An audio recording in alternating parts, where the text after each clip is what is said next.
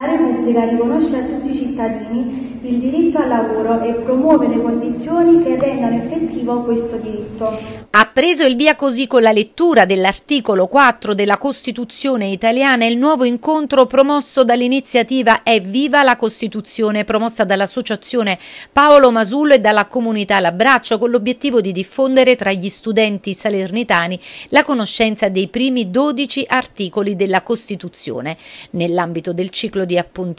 moderati da Edoardo Scotti, oggi c'è stata tappa all'interno dell'Istituto Profragri in via delle Calabrie dove è stato affrontato l'articolo 4, quello dedicato al lavoro, con la presenza del sociologo Rino Avallone e dell'imprenditore Nicola Nicodemo che si sono soffermati con gli studenti collegati anche in remoto dalle altre sedi del Profragri, la scuola diretta da Carmela Sant'Arcangelo, sugli aspetti legati al mondo del lavoro, visti però da diversi punti di vista. Si è parlato quindi di formazione, di dignità e anche della la necessità di non vivere il lavoro come un sacrificio, ma come un'opportunità di crescita e realizzazione personale. Eh, riprendendo il tema dell'articolo 4, eh, le persone hanno il diritto al lavoro, al tempo stesso hanno, sono richiamate dalla Costituzione a partecipare eh, al benessere sociale, che quindi non vuol dire solo un benessere economico, ma vuol dire il benessere della, della collettività. In questo, nella mia interpretazione, rientra anche il lavoro domestico, anche il lavoro che non viene,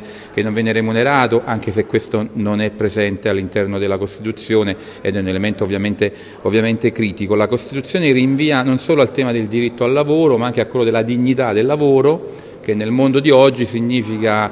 politiche che ne riducano la, la precarietà che è evidentemente troppo diffusa come molte persone sperimentano nella loro, nella loro esistenza, eh, in molti casi anche per periodi anche molto molto lunghi. Messaggio che eh, deve arrivare ai ragazzi rispetto appunto al tema del lavoro eh, e all'articolo 4 della Costituzione.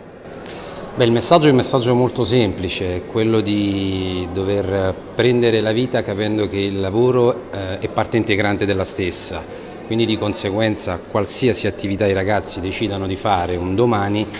eh, devono capire l'importanza del, del, lavoro e di tutte quante le sue sfaccettature. Nello specifico qui parliamo con dei ragazzi che si occupano di un settore molto complicato che è quello dell'agricoltura e cercherò per quanto possibile di far capire un po' i, i pro e i contro di questa attività che è una delle più storiche di, di sempre.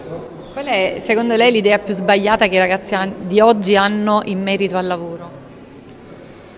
Beh, i ragazzi oggi hanno un'idea sbagliata fondamentalmente del lavoro perché vedono il lavoro come una privazione, vedono il lavoro non come un'opportunità, non come la possibilità di alzarsi tutte le mattine e fare qualcosa di buono per loro e per la società.